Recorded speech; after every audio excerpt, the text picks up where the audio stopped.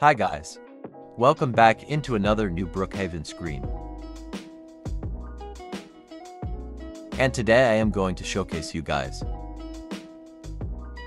a better version of the Brookhaven screen guys.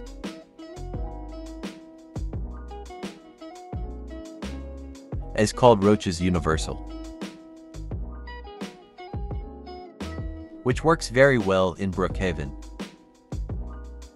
And the script will always link down below in the description of the video, so make sure to give it a try. Or maybe you see once UI. Yeah, let's get started. So when you guys press the run the script, it will freeze your game for a little bit of second. And then, a GUI will be pop up as I can see. The screen has a lot of great features so yeah. You guys can pretty much do a lot of thing. And there are a lot of features that you guys might like. That you can use to prank players such as Teleport yeah which is very normal yeah. Uh, let's just say I wanna like prank. They can do a head pet which I don't know what that is. Okay yeah? Okay that's what head pets means in brush. What what is this? Okay, so yeah. There are a lot of future, and there's one of the futures that I really like about his script is that you can do fake chat control, which it's gonna be invisible, and you'll be standing on the player's say, and you can say whatever you want to. Let us say that first of all, I want to say the cheese. I want to stay artist person over here and say that, um, like this. As you can see that it was guys which is very funny. Okay, um, let me get out of this real quick, so I can show you all the future the screen has.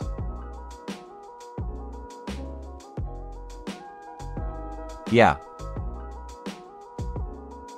So I want to reset right. I just press reset button and yeah.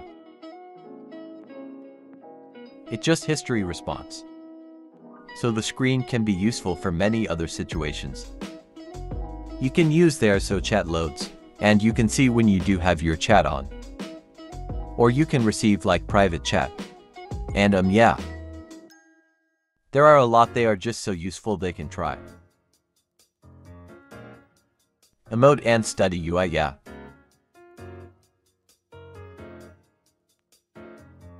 And this game also has a very special thing which is called like character replay, which means you can record yourself in like some seconds. And then when you press replay, you will just replace your character for 4. For the moment that you record, SO for example, I will just record myself walking over here then right. I turn it off and then replace again. You can see that is me walking around over here, which is very cool yeah.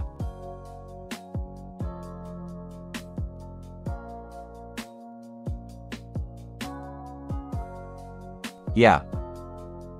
So, yeah, just Grief has really a lot of features. And I think I would totally recommend you guys to try. This crates are a. The crate is 100% unbreakable, which mean you cannot get paid using the crate, unless you are using like a risky executor. That can get you paid then it's executor self. Not the crate hey. Thank you guys for watching. See you guys in the next video bye.